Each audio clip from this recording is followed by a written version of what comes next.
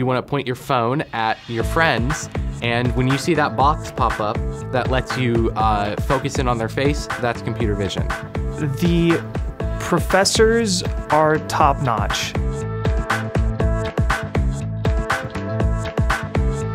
Computer vision is just cool, right? Machine learning is just cool. You see it all over the place with uh, generated images, self driving cars, augmented reality, virtual reality. It's all around us. It is the big field. It is what everybody wants, and uh, you will have no shortage of opportunities if you're in computer vision. I might pursue my PhD or I might go directly into the field, but the good thing is that I have the freedom to decide what I want to do.